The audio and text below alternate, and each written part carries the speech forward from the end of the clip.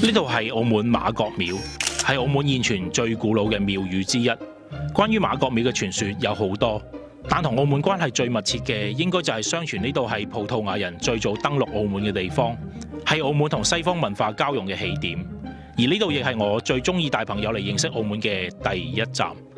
我哋尝试用四个半世纪之前葡萄牙人登陆澳门嘅心情，重新观察呢个城市。我哋沿住马国庙。港务局大楼、阿婆井前地、郑家大屋、圣老灵座教堂、江顶剧院、圣奥斯定教堂、河东图书馆、福隆新街、市政署大楼，最后到达议事亭前地，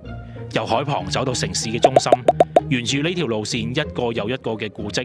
体会中西文化交融下唔同时期所产生嘅特色建筑，尝试一个与别不同嘅时光旅程。如果你嚟到澳门，都可以试下喺呢度出发噶。